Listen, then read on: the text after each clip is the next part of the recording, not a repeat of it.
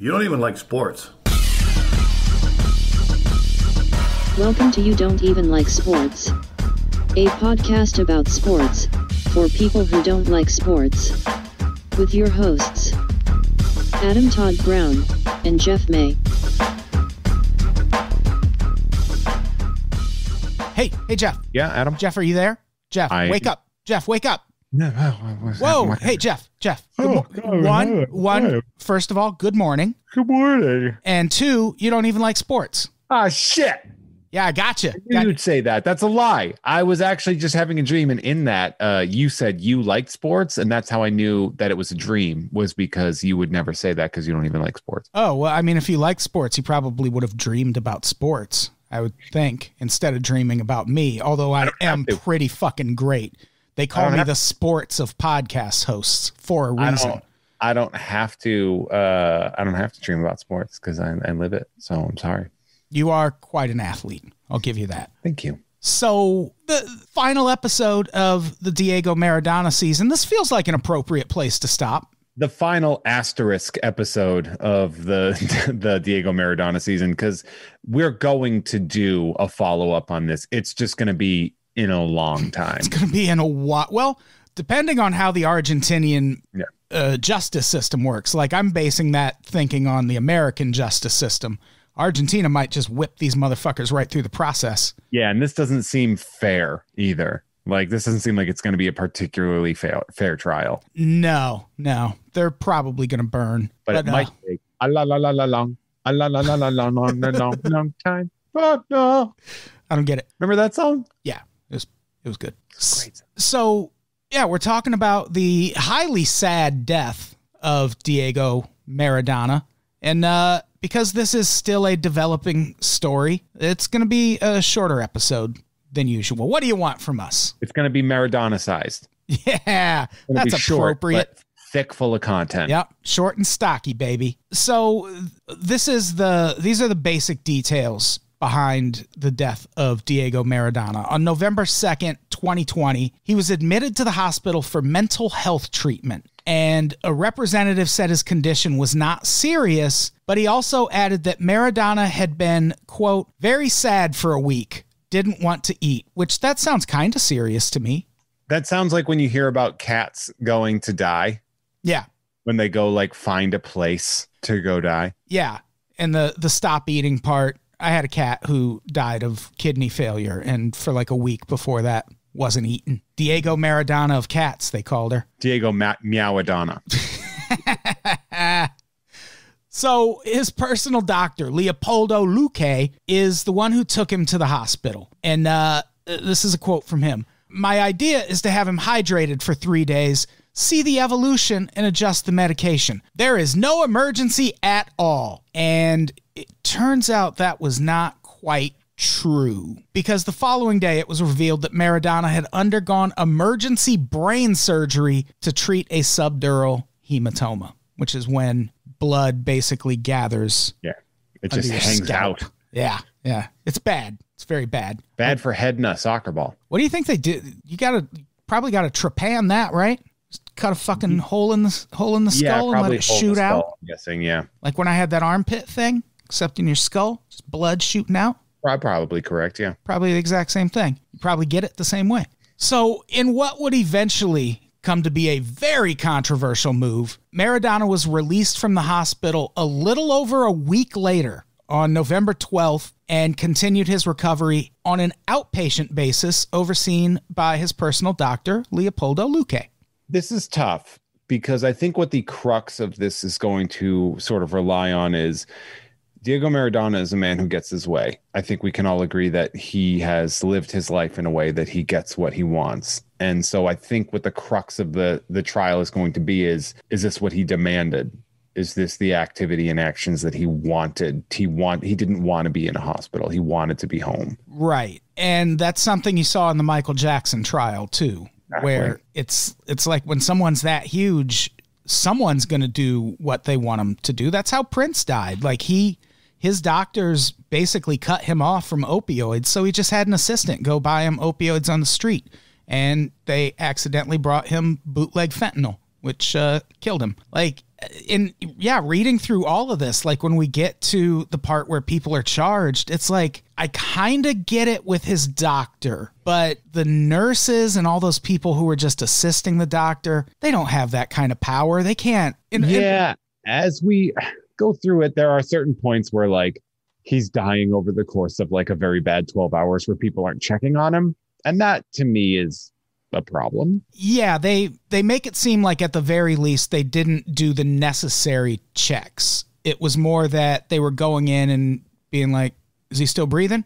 Yep, he's still breathing. It's fine. And uh, the truth was, yes, he was breathing, but he was also dying over the course of those 12 hours. And like with the doctor thing, one of the arguments they make is yes, this might have been what Diego Maradona was demanding, but also as a doctor, you should know when someone is in not the right mental state to make decisions like that. There you go. So it's a, it's a it's a very complicated thing. So he leaves the hospital on the 12th. He's basically treated in his home by this medical staff. And on November 25th, Diego Maradona suffered a heart attack at his home in Argentina and died. He was initially found unresponsive by his personal psychologist Carlos Diaz and his psychiatrist, Agustina Cosachov, which that alone, why are they the ones checking on him? Yeah, that's a weird, that's an interesting way to have that sort of, it's the brain. I mean, you know, I mean, I guess it's that that is the case. It's because he was going through brain shit, but yeah, but they're also like psychi- psychologists and psychiatrists are not necessarily physical ailment people. Like I get it has to do with the brain, but you know. Yeah, it seems like people were just kind of underestimating what was wrong with him, I think. And the, we will get to in a second. There there is at least one medical professional who tried to ring some alarms over this. But uh, after he was found unresponsive, his nephew and assistant were called to try to wake him, which also then just call for help right then. Like, why wait? I think it's definitely there's like a fear aspect to this. Yeah. People are like, oh, fuck. Oh, God. Oh, no. Oh, fuck. Because this guy is one of the most adored people in Argentina and you may be responsible for his death. Yeah, it would be a tense situation. That's for sure. Yikes. So later, a doctor who lived in the neighborhood arrived and tried to resuscitate Diego using adrenaline and atropine shots, but he was unsuccessful. Diego Maradona was declared dead. He was 60 years old. The next day, this is how beloved this guy was. His coffin, draped in jerseys from the Argentinian teams he played for, and an Argentinian flag was laid in state at the presidential palace so the public could pay their final respects. And I read conflicting reports of how long this lasted. One said it was for three days, and one said it was supposed to be for three days, but then a riot broke out in the lobby, and they ended up just moving his body after one day, and he was buried uh, in a private funeral. I mean, yeah, that sounds about right, right? Yeah, I mean, I, I I could see people. I could see it going either way. I'm. I wouldn't be surprised if people got unruly in line. There's a lot of emotion going back and forth. Yeah. Plus, you know, it's uh, you got your public shit. Now let's do our private shit. Yeah. So a private funeral was held. Maradona was buried at the Jardín de Bella Vista Cemetery in Argentina next to his parents. Ever been? Uh, that's where I go every summer. Yeah, my mom's buried there. I don't know why I said that. My mom's still alive. She's still she's alive in, in Wisconsin. My dad's buried there. You happy? No, he's yeah. not. His ashes are at my mom's place. No one's buried there. This place is made up. How about that? Yeah, that's fair. So, five days after his death, police searched the home and office of Leopoldo Luque after Maradona's family raised concerns about the circumstances surrounding his death. And so that was kind of the first wave of information that came out back in November of 2020. Following month, uh, there was a Forbes article that uh, it was an interview with a friend of Diego Maradona, his longtime friend, former manager Stefano Ceci, and uh, he said this: He died of sadness. His heart was full of sadness. In the last months, he started letting go. He decided it, as he always decided how to live his life. He was tired, he was fed up, and he decided to go to the quietest place possible with his mom and dad, the movies. Such a bump. Yeah, and like uh, judging at the time that he it was probably like a Marvel movie or something. Yeah, something like that. Yeah, that is that's a very sad sad It's- quote. It's a real bummer because he missed COVID yeah. Like right before it too. No, he died in November 2020. Oh, for some reason I thought 2019. My brain shorted out. Oh, he got to experience COVID. Good for him. Well, there were even rumors at one point that he died of COVID, and his people had to come out and clarify that that was not the case. You're like, no, no, no. His brain swelled and we killed him. yeah, yeah, yeah. We just didn't do anything while he was dying, but it wasn't COVID that was killing him. It was our neglect. Yeah. So uh Stefano Ceci wasn't alone in that sentiment. Maradona's biographer, Daniel Arcucci, said this in a newspaper interview in Argentina. Diego began to suffer because he no longer felt Maradona. Which, man, I'm feeling Maradona is a thing I think I'm gonna say to people whenever I like look really good or something. I don't know if I have a good set. No, it's when you're gonna do a lot of blow and call out the papacy. Well, that's what I do next after I have the good feelings, and then I'm like, oh, I'm feeling Maradona.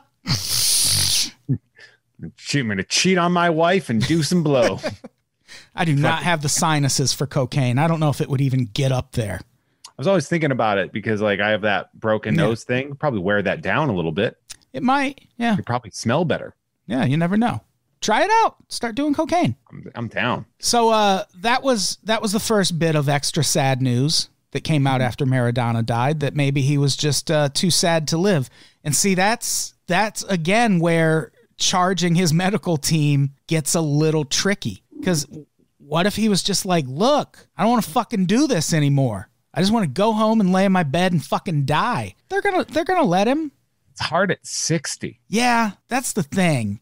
But in Maradona years, he was like 89. I would also add too that if you are employed by this man, you probably don't want to be like, we should let him die. Because they're probably like, hey, we should keep this guy alive so we can keep working. Yeah. Yeah. It would be, I mean, it would also be a highly unethical thing for an actual doctor to do. And he did have a personal doctor. So I don't know. It, it does seem like he was very sad at the end of his life, which is a bummer because just like by 2017, he was joining FIFA and things seemed to be going all right.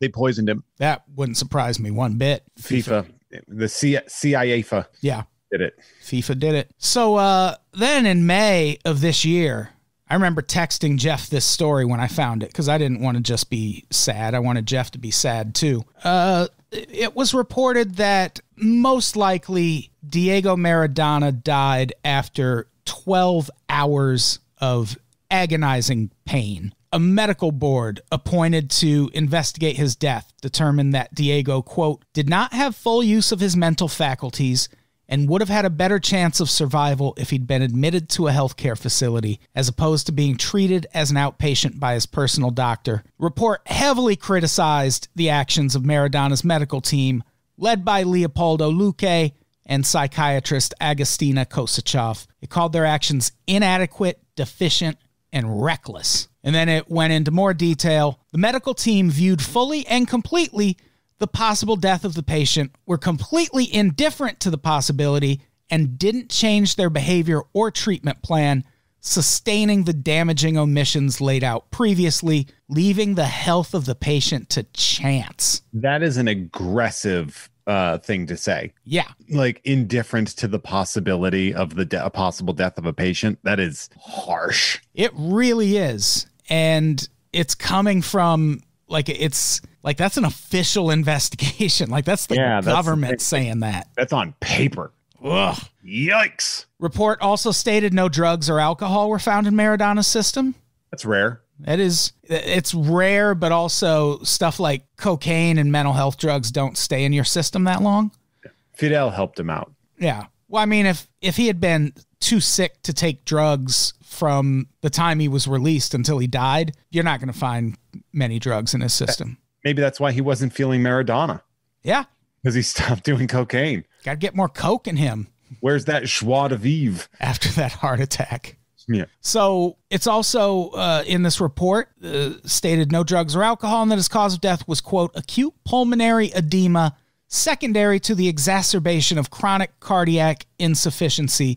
That acute pulmonary edema line is very important. Keep it in your craw. It also said he died in extreme agony. It's another quote. Diego Maradona started to die at least 12 hours before, which is to say there were unmistakable signs of a period of prolonged agony, and as a result, we conclude that the patient was not adequately monitored. That's where the nurses thing comes into play.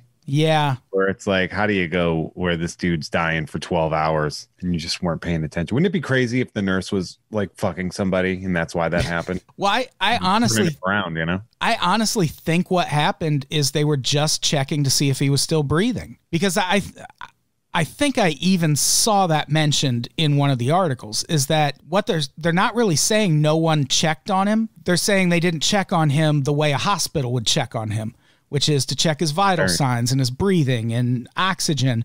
They just went in and like put a fucking mirror under his nose like in the movies to see if he was awake.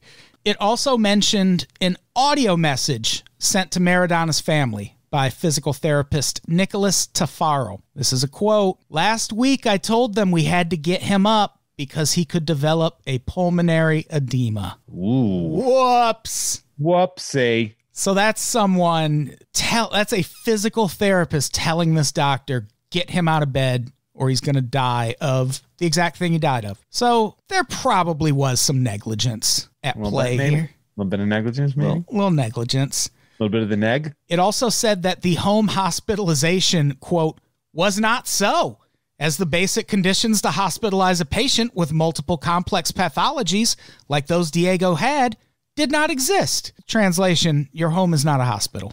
Not even not even if there's doctors in it. Still not a oh, hospital. Oh, your hoe is not a housewife. Like would they have had a defibrillator, any of that shit? Nothing. Who knows? I'm why, why, why didn't he? Yeah, I mean, he probably could have afforded like some hospital equipment. Tommy Lee had a fucking Starbucks in his home. You can get hospital equipment, can't you? Why not? Buy it from Fidel. Get an AED. You can get them for like eight hundred dollars. Yeah, that's nothing. So yeah, they also said both nurses and physicians failed to perform periodic checks and care that are required for cases like this. So yeah, I do think they were just being like, hey, "You still sleep? You still sleep? Can I borrow some money? Oh, wait till you yeah, get up." exactly. Can you sign this check real quick? Yeah. And it might get them sent to prison because as a result of that investigation, seven people were charged in May 2021 with, quote, simple homicide with eventual intent. like that is weird. That phrasing. That that's strange. Uh, and to remind you, we are recording this in June of 2021, so this is fresh. Yeah. And that's that's why the episode is basically over because there's not a lot of details to this. There's obviously way way more that's going to come out. and it's also like i always feel like the in argentina or whatever they have this pro- like um, a national hero wa- was killed through a form of neglect and like i don't know people it seems like they're gonna make them pay for that Yeah. It and it is it different from the Michael Jackson thing? I feel like it's kind of a little bit different. because the michael jackson thing it seems like it was one doctor that fucked one thing up big time with a very controversial celebrity who went to court for fucking touching kids. So like there's a lot of people are not as invested in protecting Michael Jackson's legacy Yeah. because he may have fucked some kids. He may have. Yeah. I saw a quote from or it was just a headline where apparently in in an interview Elton John said he found Michael Jackson to be uh, genuinely mentally ill and uncomfortable to be around. Yeah, of course. I love that kind of honesty. Did you need somebody to say that? No, but no one ever- It's like no one ever says it. Everyone acts like, "Oh, Michael Jackson, he's so down to earth and normal." And it's like there's no way that's true. zero percent chance anybody has ever said that. Yeah. No, like people do though. I mean, that's wild. People are crazy. No man owns a theme park Mm. and it's just like a regular dude. And it's just at home? No. Yeah. So yeah, his face decaying off of it self, but so this crime that they're charged with, simple homicide with the eventual intent, it sounds like more than just neglect. Like for one thing, they're calling it homicide, but the word intent is a very, very heavy word when it comes to crime. yeah. And that charge carries a prison sentence of 8 to 25 years. And Leopoldo Luque and Agostina Cosachov are among the seven charged, along with two nurses, a nurse coordinator, a doctor, and a psychologist. Is Augustina Cosachov um, being charged with being a Soviet era spy? that is the name of a Soviet era spy. It sure is. I did not. I did not kill the little man. Maybe it's a Nazi who took on a Russian name to hide in South America better. Yeah, I love seeing all those white people in Argentina, and you're like, ah, we know what you are. Yeah, I always, we've been talking about Argentina this whole time, and I it just has been slipping my mind every episode that that's. I'm pretty sure that's where we send like really high profile witness protection people. Well, that's To Argentina. people- I remember when uh, Starship Troopers. People love that movie, and they're like, "It's weird that it's Argentina that they talk about." And I'm like, "Well, it is a Nazi allegory, Yeah, so maybe you could figure it out." yeah. Look into Nazis in Argentina. Everyone got away but Hitler. Okay, okay. I I I buy it. I buy it. He definitely died in Germany. Anyway, yeah, as we're recording this, the questioning in this case has just started, like within days.